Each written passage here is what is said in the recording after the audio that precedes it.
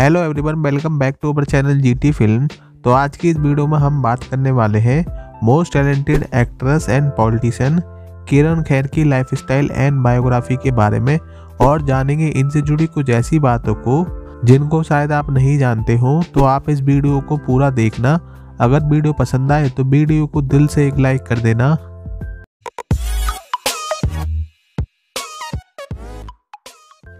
इनका full name है किरण ठक्कर सिंह खैर और प्रोफेशन से actress politician and show host हैं। इनका जन्म 14 जून उन्नीस सौ बानवे को बेंगलोर माइसोर स्टेट, कर्नाटका, इंडिया में हुआ था और 2022 के हिसाब से आज इनकी एज 70 साल हो गई है और इनका home town Chandigarh, Punjab, India है। अब इनकी फ़िज़िकल स्टेटस के बारे में देख लेते हैं तो इनकी हाइट लगभग 5 फुट एंड 5 इंचज और इनका आई कलर ब्लैक और हेयर कलर ब्लैक है और ये नेशनलिटी से इंडियन है और रिलीजन से सिख हैं। अब इनके एजुकेशन के बारे में देख लेते हैं तो इन्होंने अपने कॉलेज की पढ़ाई पंजाब यूनिवर्सिटी चंडीगढ़ से की। एजुकेशन क्वालिफिकेशन में इन्होंने मास्टर ऑफ़ आर्ट्स की हुई है इंग्लिश लिटरेचर से। अब इनके करियर के बारे में देख लेते हैं। तो इन्होंने अपने कैरियर की शुरुआत पंजाबी मूवी आसरा प्यारदा से की थी, जो 1983 में आई थी, जिसमें इनका करेक्टर सीला का था। और फ़र्स्ट टाइम हिंदी मूवी में डेब्यू किया इन्होंने पेस्टोन जी मूवी से, जो 1988 में आई थी।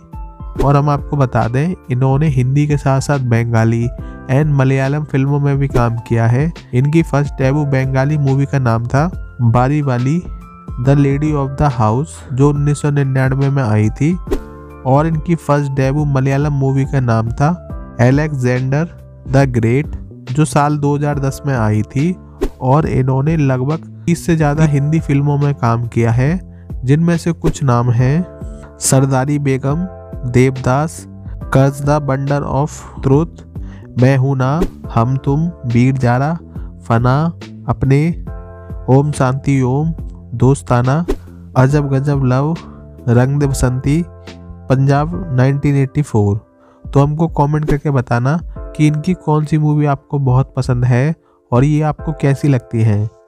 इसके साथ साथ इन्होंने टीवी में भी काम किया है। इन्होंने फ़र्स्ट टाइम टीवी में डेब्यू किया था। इसी बहाने टीवी शो से जो 1988 में आया था और ये इंडियाज़ गॉड टैलेंट के सारे सीजनों को भी जज करती हैं। साल 2009 से अभी तक। अब ये 2022 में इंडियाज गॉड टैलेंट सीज़न 9 को भी जज करने वाली है। तो हमको कमेंट करके बताना कि ये आपको कैसी लगती है। और इसके साथ साथ ये एक बेहतरीन पॉलिटिशियन भी है।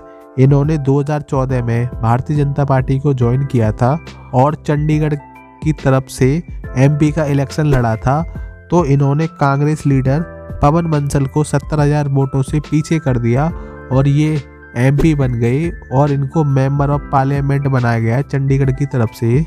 अब इनके अवार्ड के बारे में देख लेते हैं तो इनको काफ़ी सारे डिफरेंट टाइप के अवार्ड मिले हैं, जिनके नाम हैं national film award IIFA best supporting actress award fifth Lux style award star screen award for best supporting actress PTC Punjabi film award अब इनकी फैमिली से मिल लेते हैं तो इनके फादर का नाम ठक्कर सिंह संधू है। इनकी मदर का नाम दिलजीत कौर है और इनके ब्रदर का नाम अमरदीप सिंह है, जो प्रोफेशन से एक आर्टिस्ट है। और इनकी दो सिस्टर भी हैं, जिनका नाम Saranjeet Kaur Sandhu and second sister का नाम कनवल ठक्कर सिंह है, जो प्रोफेशन से एक बैडमिंटन प्लेयर है।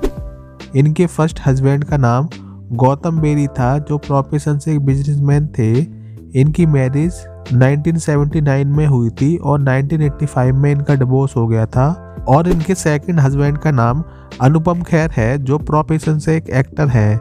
इनकी मैरिज 1985 में ही हुई थी और इनके बेटे का नाम सिकंदर खैर है, जो प्रोफेशन से एक एक्टर हैं। ये ये 31 अक्टूबर 1981 में हुए थे। अब इनकी हॉबी के बारे में देख लेते हैं तो इनको हॉरोस्कोप एंड ट्रैवलिंग करना काफ़ी पसंद है। अब इनके फेवरेट थिंग्स के बारे में देख लेते हैं। तो इनके फेवरेट फ़ूड है समोसा, पंजाबी फ़ूड और फेवरेट एक्ट्रेस हैं इनकी नरगिस, और फेवरेट एक्टर हैं इनके सुनील दत्त। अब इनके हाउस के बारे में देख लेते हैं कि ये रहती कहाँ पर है। तो इनका अपना हाउस सेक्टर सात चंडीगढ़, इंडिया में है, और ये अपने हस्बैंड के साथ मुंबई, महाराष्ट्र, इंडिया में भी रहती हैं। अब इनके कार कलेक्शन देख लेते हैं। तो इनके पास फ़र्स्ट कार है। मर्सिडीज बेंच और सेकंड कार है बीएमडब्ल्यू।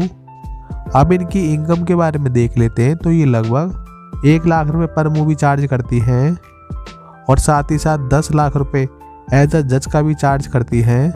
अब इनकी नेटवर्क देख लेते हैं तो इनकी टोटल नेटवर्क लगभग पचानवे करोड़ रुपए है। तो ये थी किरण खैर की life style video I hope आपको वीडियो पसंद आई होगी। अगर वीडियो पसंद आई हो तो वीडियो को लाइक एंड शेयर करना और हमको कमेंट करके बताना कि ये वीडियो आपको कैसी लगी। Thanks for watching